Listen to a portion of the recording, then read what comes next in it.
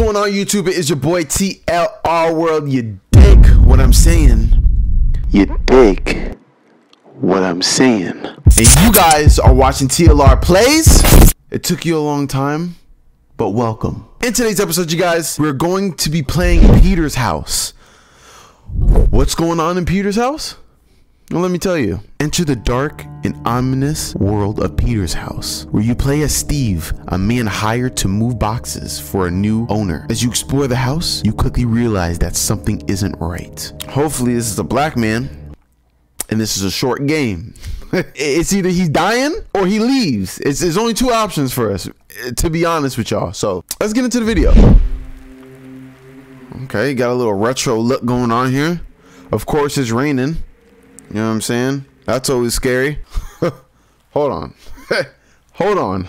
this this is a man that you see that would be on like UPS, right? Like like that's a that's a, this is a, a I I trust this guy to deliver my boxes. You know what I'm saying? But this nigga this nigga's murdered people. Everywhere this man has delivered He's either A, he's peeked in people's homes, he's done some unforsaken things, and he's definitely murdered. That's a man where it's like, yeah, I have a past of murdering. That's a murderous face, a murderous smile. I don't trust you. But something ain't right about this man. I call it now. Steve. Hello. This is Steve from Able Movers. How can I help you? Peter. Peter's a bad man. That's a bad man. Hi, Steve. This is Peter. I need help with moving some boxes tonight. Why tonight, Peter? Hmm? Seems a little weird. You don't seem right, bro. Sure, we can definitely help you with that. Can you give me a bit more information about the job? Peter. Yeah, I have a few boxes that I need to move on my new home, my new house. I'll be out tonight, so the door will be unlocked. Okay, I can come over tonight and take care of it. Can you give me your address? Sure, my address is 619 Main Street. Great, I'll take care of everything. Is there anything else you need from us? No, that's all. Thank you so much, Steve. You're welcome, Peter. Have a good night. You too. Thanks again. Oh, yeah, we're dead. We're so dead. So dead. Can I click it? Okay. We're moving in, y'all. Well, moving out. So this one says that it must go into the baby's bedroom. Okay, so this is the guy's new house. Very ugly home. I'll tell you that right now. Very ugly home. The babies are.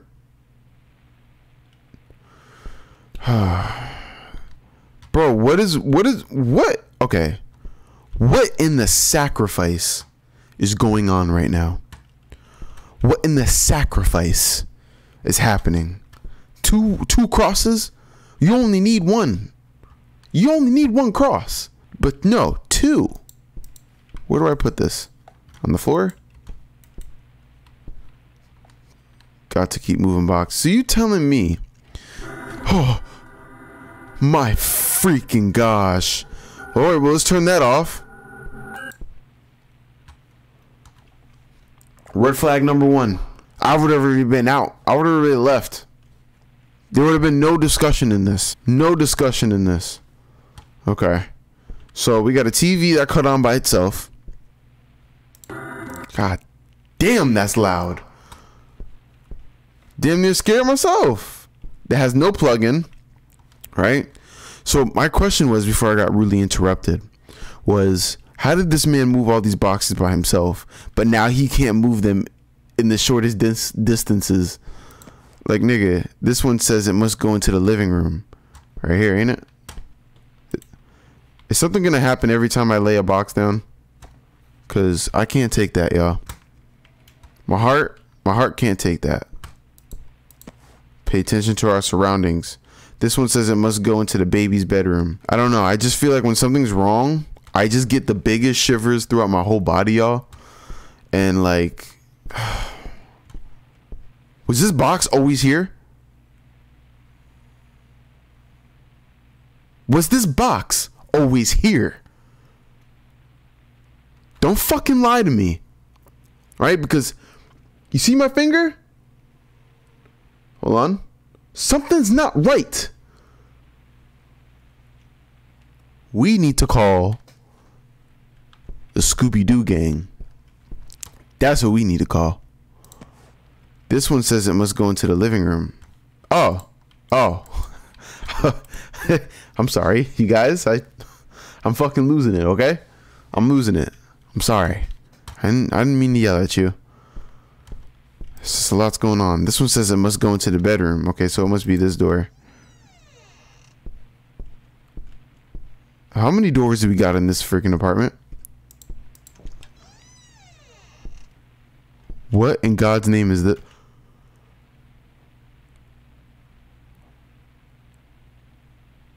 Who the fuck is in there? Hey, buddy. I can't even go in there, y'all. I can't even go in there. One or more boxes may be in the wrong room. I can't leave yet. This is outside, y'all. He's just waiting in the fucking rain. We're screwed. Red flag number two. I would already had my weapon. I would have said, what? Come on, man. Mess with me. And this real quick. Okay, it's the bedroom. Okay, yeah, this guy has a, definitely an obsession with uh with crosses. So I'm expecting one of these crosses to be turned upside down. To be honest with y'all. Yo, how many doors is in this house?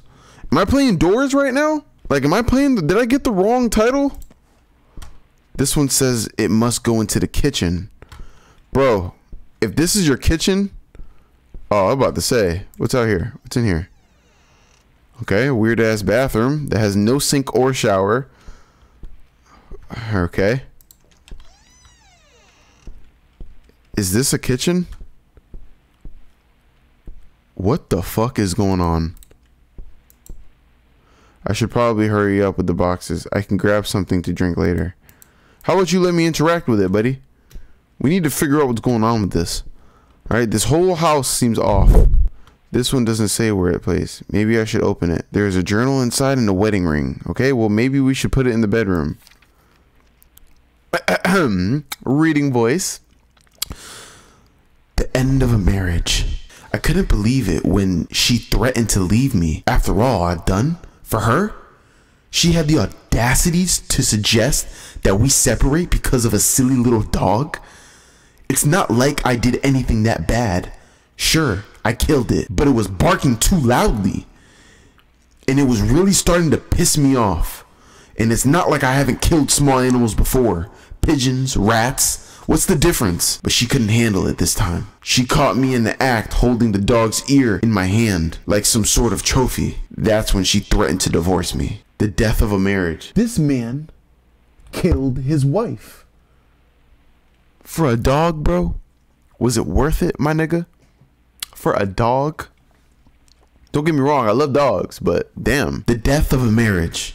I couldn't let her leave me. I had to make her understand that I was in control. Now, whenever I look at the ring, I'm reminded of how powerful I am. Oh, huh.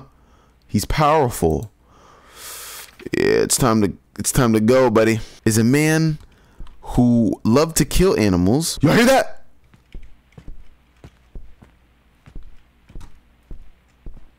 Bro, there is a man outside the freaking house.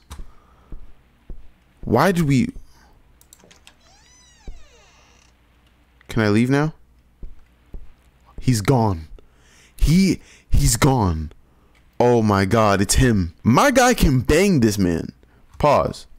My guy can whoop this man, okay? I move boxes for a freaking living. you think I'm honestly scared of a little dweeb who killed his wife? Okay, anybody could do that. You know what I'm saying? Like, bro, the more boxes I put away, the more scared I get. I'm not even gonna lie to y'all. I'm getting scared as fuck. Okay. But just off of what I've already experienced right now, this is obviously a setup, right? I I'm not I'm not tripping. I I know y'all think the same thing. I'm not tripping. This is obviously a setup. Literally, I'm moving these boxes like four inches away from each other. Like, come on. This is like a, a 200 square foot house. Like, bro, clearly set me up to die. He go he gonna kill me. I don't know how he gonna do it because there's three boxes here. This doesn't have a. Oh god, we have to open up another box. You could have buried the knife or something, but no. You keep the knife. You keep the weapon with with two. Okay, I don't know. It's okay. hey, yo, I'm just trying to figure out what makes sense and what don't. You know what I'm saying? Like, see what this says. The betrayal of a friend, part one. I never should have told my best friend about my wife. It was a moment of carelessness, a slip of the tongue. But what did it matter? He was just another person in my life who didn't understand me. He was your friend. He was your friend. He was just another person in my life who didn't understand me, who couldn't comprehend the power that I held. What the fuck anime is this man in? What anime are we are we watching right now? This nigga gained strength through killing people? You'll see how powerful you was in in in that jail cell and getting your, getting your ass clapped. When he asked where she was, I casually replied that she was buried. He laughed it off, not realizing that I was dead serious. But I knew I couldn't take any chances. The Portrayal of a Friend Part 2. Jit writing stories. I excused myself to go to the bathroom, but instead, I went to the kitchen and found a sharp knife. It was easy enough to sneak up behind him and plunge it into his back. He let out a pathetic gasp after crumbling to the floor. I felt nothing as I watched him bleed out. He was just another obstacle that I had to remove. Another person who didn't belong in my world. Well, then leave, my nigga. Like, I don't even think you belong in the world. That's just, that's just, that's just how I feel. I'm really scared to close his box because I really do feel like he's behind me. Oh God! Oh, we're good. Vibing, vibing. I think his name's Steve, right? Steve, you hell, no cap. You literally killed him for no reason. Holy fucking shit! How the fuck is the ceiling glowing? Bro, I'm a grown ass man. You was not gonna sit here and, and try to and try to punk me. This one must go into the dining room. Like he really all that work made me thirsty. I should get something to drink before I leave. J- we didn't even finish putting the boxes away. This doesn't say where to place. Maybe I should open it. Oh, there's another box to open. Some glasses. Isn't this the glasses that Steve was wearing? If that's his name, I think I'm Steve. I think I'm confusing everybody. The Snoop. Wait a minute.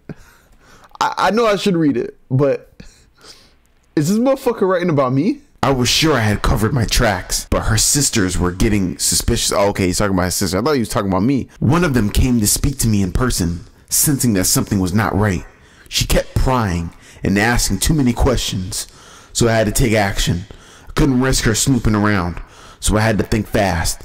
I tried to convince her that my wife was away on a trip and wouldn't be back anytime soon, but she wasn't buying it. The snoop part two. She started getting too close, asking too many questions. In a moment of frustration, I grabbed the heavy object and struck her over the head. Her glasses fell off her head. She crumbled to the floor, groaning in pain. She lay there, gasping for air, grasping at her throat. I could feel her struggling beneath me as I squeezed the life out of her. It was a small victory. Oh my god, yo. A small freaking victory, bro? You are insane. Yeah, I think we'll just leave that there. All right, well, we're going to go get a drink. We did move quite a few. Could have worked up just a few, uh... Hmm. I won't mind some of his juice. Y'all hear that? Time to go. All right, no problem. What door is it? All the fucking doors are closed. What door is it, y'all? I don't remember what door it was. What door is it? The door is fucking locked. Oh, the door is locked. Let's try this one. The door is locked. We're fucking dead. Every single door is locked. This doesn't say anything. Wait a minute. Oh my god! Scared the shit out of me, bro. All right, let's re- let's read it. The Vanishing Act, Part One. It was only a matter of time before someone realized that my wife and her sister was missing. My wife's other sister, the one I had spared, had grown suspicious and went to the police. I knew I had to act fast. I packed my bags and left town, but I knew that it wasn't enough. The detectives would come looking for me, asking questions that I couldn't answer, so I came up with a plan. I knew that I couldn't just disappear and hope for the best. I had to make it seem like I too was a victim, that I had vanished alongside my wife and her sister. It was a risky move, but I was confident that it would work. What is this man talking about right now, y'all? The Vanishing Act Part 2. I began by staging a break-in at our home. I smashed a window and ransacked the place, making it look like someone had broken in and taken us all. I left a few items of clothing behind along with some other personal touches to make it seem more convincing then. I disappeared.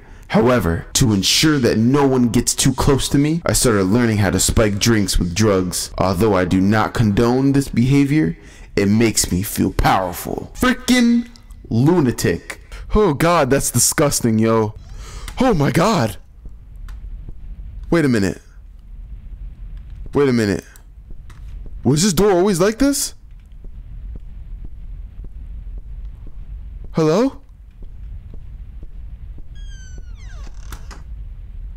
Where, where am I? What the fuck is going on, y'all? I'm sorry for my vulgar language. What is going on? Oh, I don't like this.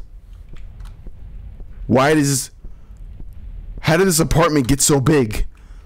Why is this why is this hallway so long? Oh yeah, man. Nigga, we losing it. I can't even run.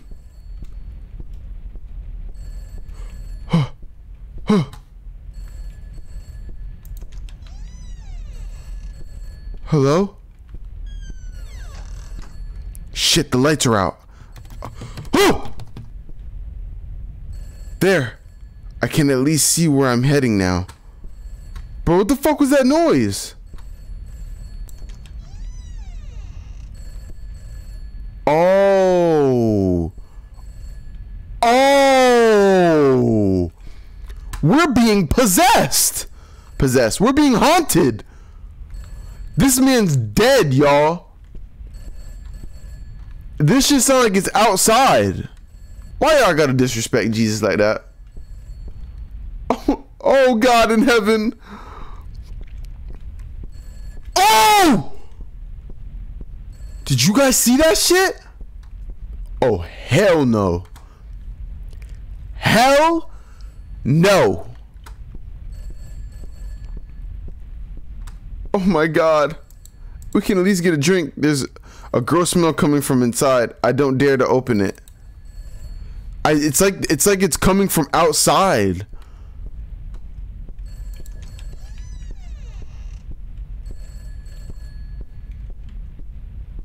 All right, let's open this door. Huh. Hello? All I wanted to do was deliver by in the kids' room. In the kids' room, bro. Bro, turn the hell off, please.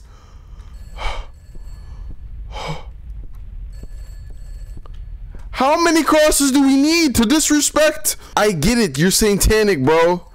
Golly. There was never a baby, was there?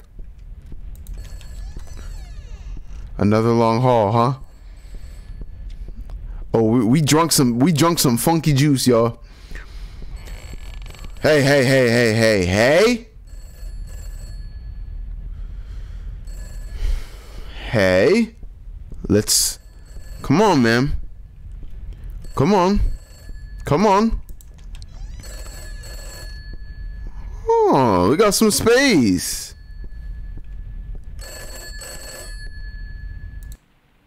Hello. What do you want from me? Your job was to just move the damn boxes, not to open them. Oh, Steve. I, I wasn't expecting you to come home so early. Ah. Uh. Uh.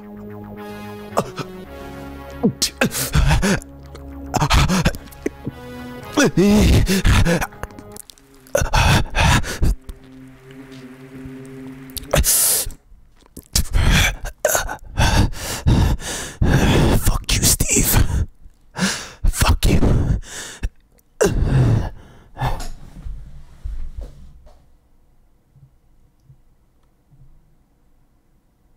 I'm not gonna lie, y'all.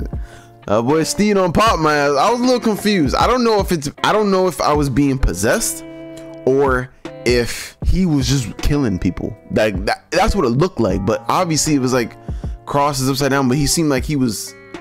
I seen that nigga in the beginning of the game. You know what I'm saying? So I already knew what was gonna happen. It was gonna be him. But got confused with a little possession shit. You know what I'm saying? Kind of threw me off. But shout out to GZKE uh, for making this game. You did an amazing job. It was very scary, very spooky, bro. So shout out to you. If you guys would like to play this game yourself, the link will be in the description if you guys want to try that out. You know what I'm saying? If you guys did watch all the way through, thank you so much for you guys for watching. I highly appreciate y'all. Um, if you do want to become a part of the TLR gang, you did what I'm saying, then go ahead and hit that subscribe button. You know what I'm saying? You feel me? If you guys did enjoy today's episode, please make sure you hit that like button. It helps a lot, you know what I'm saying, to push this content out for the algorithm to, you know, just do what it got to do so it can reach all of y'all, you know what I'm saying? As always, you guys, thank you guys for watching. Love y'all.